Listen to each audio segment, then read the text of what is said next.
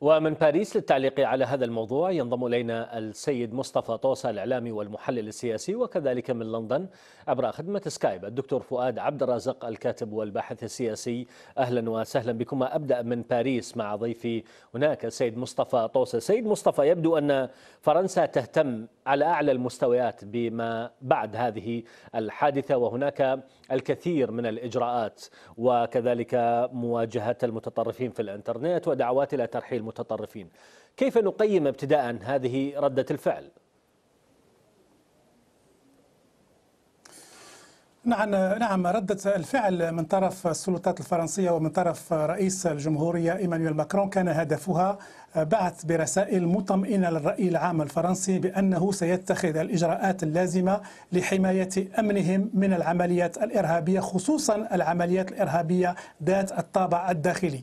وهناك يعني الآن لدى الأوساط المتتبعة لهذه القضايا قناعة بأن هناك نقلة نوعية ومنعطف حاد اتخذته السلطات الفرنسية. هي لا تلاحق فقط من ارتكب الفعل الإرهابي بل أصبحت تلاحق أيضا البيئة الحاضنة لهذا الفكر الإرهابي الذين يشاركون في صنع وترويج ونشر الأفكار المتطرفة. هم أيضا هدف للسلطات الأمنية الفرنسية سواء كانوا عبر جمعيات دينية أم جمعيات ثقافية أم شخصيات. لذلك كان هناك اتخذ القرار الاستراتيجي بغلق بعض الجمعيات التي كانت يعني موجودة على الساحة السياسية الفرنسية كالجمعية لمناهضة الإسلاموفوبية كباركا سيتي.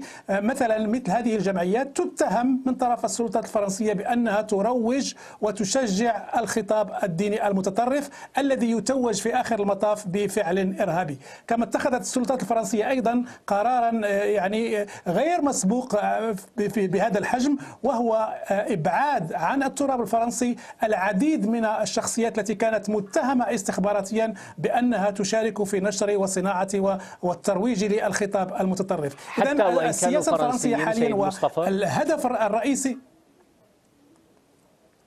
إذا كانوا فرنسيين فهناك معالجة أخرى يعالجون على المستوى الوطني وربما يعني يتم ممارسة القضاء بطريقة حازمة تجاههم آه، وقد تتوج هذه بالسجن.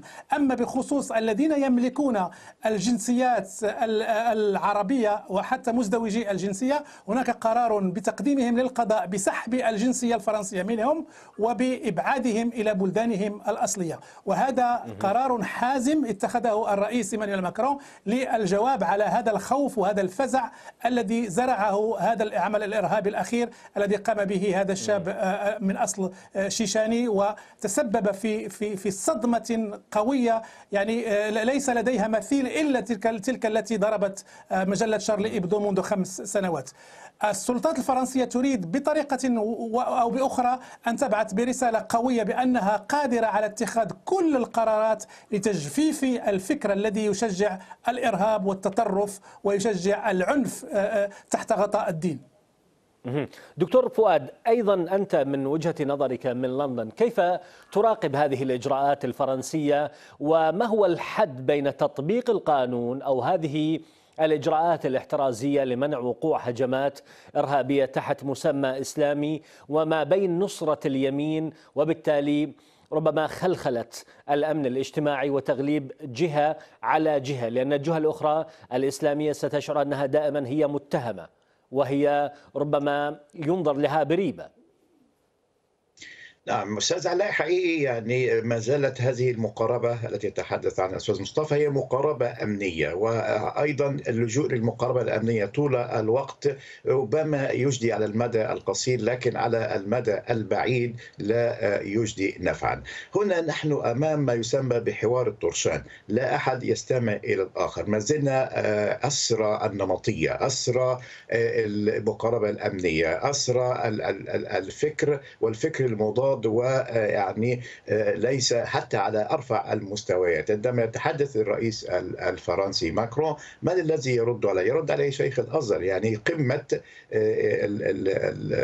السلطة الدينية في العالم السني مع رئيس جمهورية. يعني المستوى وصل إلى هذا الحد ونجد خلافا شديدا. يعني كلام الرئيس ماكرون أيضا يعني آه، خلافا للمقاربة الأمنية. نحن نتحدث بموضوعية أولا ندين الحدث طبعا آه، أشد إدانة وقد أدانه شيخ الأزهر. هذا يعني أمر شنيع ويضر بالإسلام أكثر مما يضر آه، بفرنسا. ولكن نحن نتحدث بشكل أكثر موضوعية وأكثر شمولية.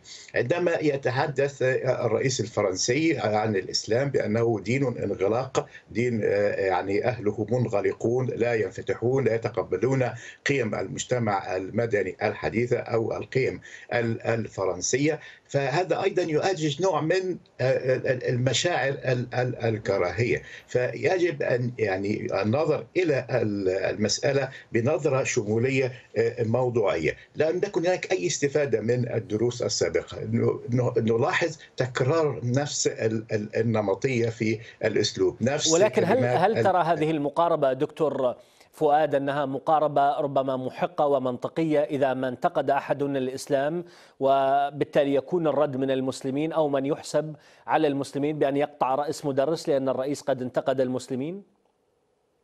لا طبعا هذا غير مقبول. إحنا يجب من المخاطب هنا؟ المخاطب هنا انت لا تستطيع أن تخاطب الفكر المستنير. أنت تخاطب فكر غير مستنير فكر يعني متطرف فكر يعني لكن يعني آه فهو الموضوع زي ما قلت لك حوار ترسان بمعنى أن الطرف الذي يخاطب هو الطرف المعني هو ليس ليس معني آه، بما نقوله. من هنا يجب إعادة جذرية لنوعية العلاقة بين أيضا طبعا تصريحات من هنا أو هناك ربما تؤثر لأنك لا تستطيع أن تضمن مدى يعني أفق الشخص الذي يرتكب مثل هذه الحوادث. هو في نظره هناك إساءة للنبي وهو يراها في هذا الإطار. هذا الموقف تكرر على يمكن ثلاث مرات الآن في مدة آه، آه، بسيطة بما يعني أن آه، الخطاب لا يصل.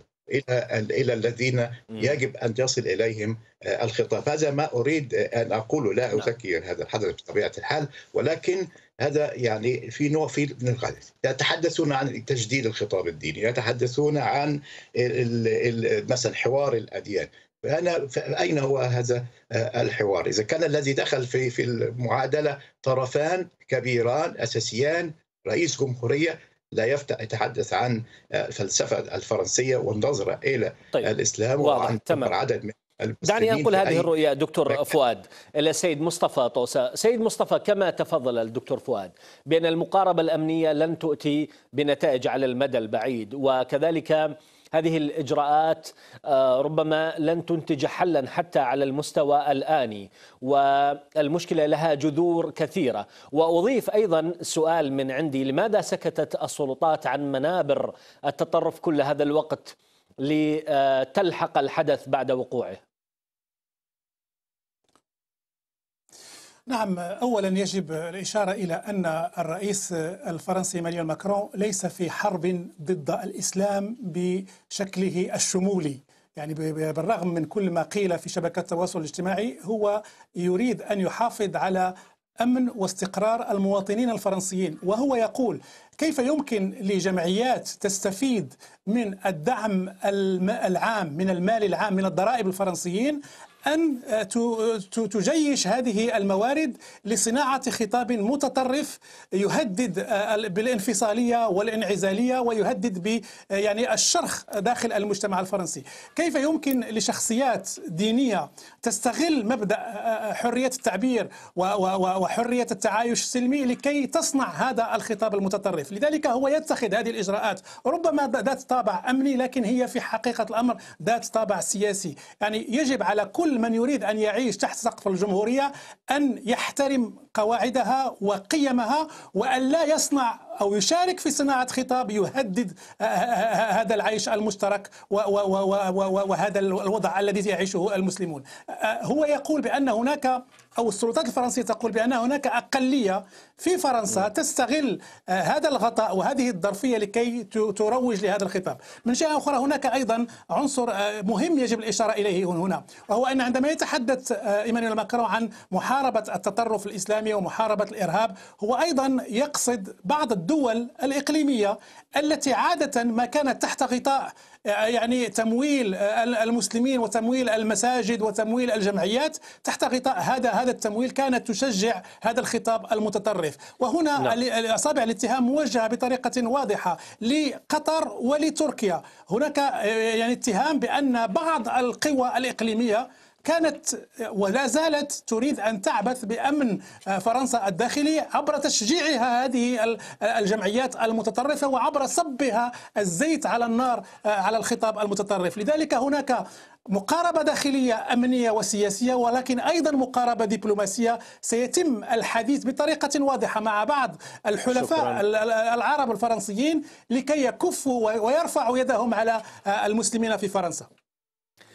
الإعلامي والمحلل السياسي السيد مصطفى طوسة ضيفنا من باريس. شكرا جزيلا لك وشكرنا موصول إلى ضيفنا في لندن عبر خدمة سكايب. الدكتور فؤاد عبد الرازق الكاتب والباحث السياسي. دكتور فؤاد شكرا جزيلا لك.